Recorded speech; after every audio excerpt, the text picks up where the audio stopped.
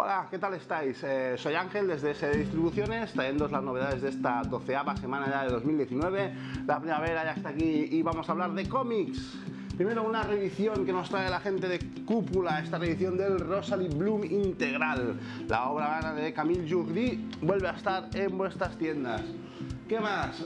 Jordi Ballardi nos trae este Einstein, el salto cuántico. Pues nada, ¿quién no conoce al científico alemán que bueno, que revolucionó el mundo de la física, las matemáticas y muchísimas otras bueno, de otras partes de la, de la ciencia y aquí pues conocemos un poco su historia, ¿de acuerdo? Con el estilo habitual del autor catalán.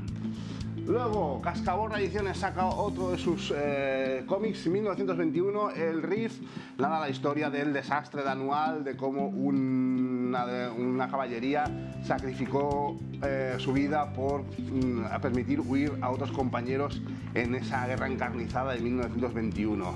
Ya sabéis, amantes del cómic bélico, aquí tenéis este. Luego, eh, Astiberri nos trae el segundo tomo de este Éter, eh, los golems de cobre.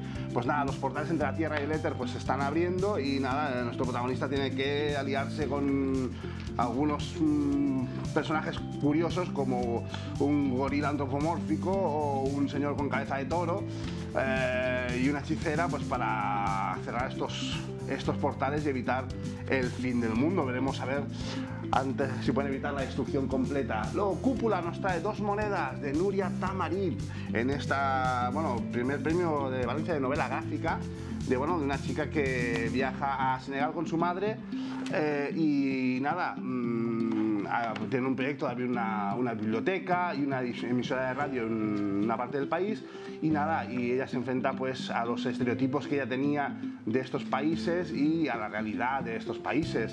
Y nada, un cómic con mucha conciencia social y mucha historia aquí en este, en este Dos Monedas de la mano de Cúpula. Luego, Trinita nos trae este cómic eh, de Josep María Bea, el Peter Hypnos, esta reedición de este cómic, vamos, que tiene ya muchos años, en el que vemos esta técnica un poco de, de dibujo mezclado un poco el collage, parece, ¿no? Y nada, un cómic que 50 años tiene ya, si no me equivoco, y que ya en su momento ya fue una, un testimonio del autor, de su estilo y su particular sentido del humor. No os lo perdáis. Luego, eh, Bárbara Fiore, editora, nos trae Viva las vacas, este libro de David Prudhomme y Pascal Rabaté, que nada, nos cuenta las historias de varios personajes eh, de vacaciones eh, en la costa y nada, de todo, desde la familia numerosa hasta la gente joven, hasta gente madurita, pues todos ellos pasando por estas playas y estas situaciones tan propias de las vacaciones y tan humanas que todos hemos visto en algún momento u otro.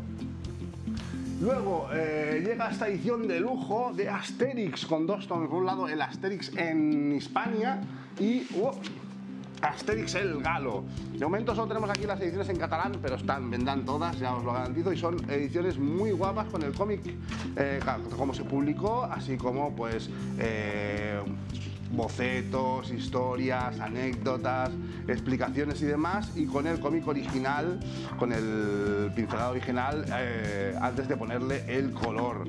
¿De acuerdo? Unas ediciones muy, muy interesantes de este clasicazo del cómic europeo que es Asterix.